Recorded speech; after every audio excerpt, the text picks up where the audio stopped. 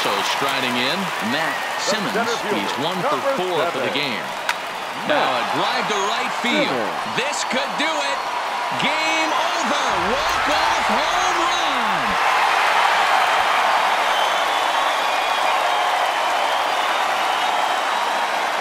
A solo shot here to straightaway right field. And none bigger than that one as this ball game is over.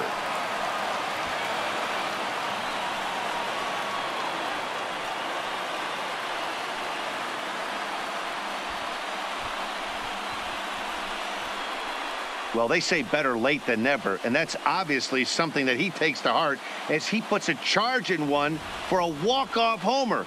Got to be the best feeling in all of baseball.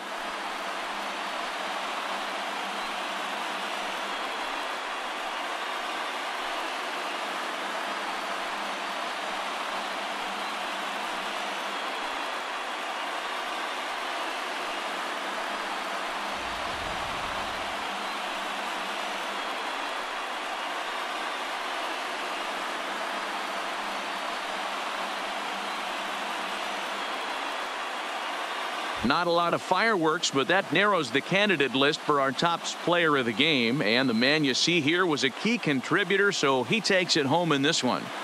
He was one of a few guys that really swung the bat well in this game with a pair of base hits.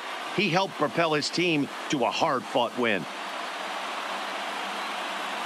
A one-run finish, 4 to three, the final tally today. The O's put up four runs in the ninth inning to carry them to the victory. Jim Moyne earns his third win of the year in relief. So that just about does it for Mark DeRosa, Dan Plesac, Heidi Watney, and our entire crew. I'm Matt Vasgersian. Our You've been watching MLB The Show. For more, First make your way over to victorious Orioles. Four runs theshownation.com. on 10 hits. One error. They left eight runners on base.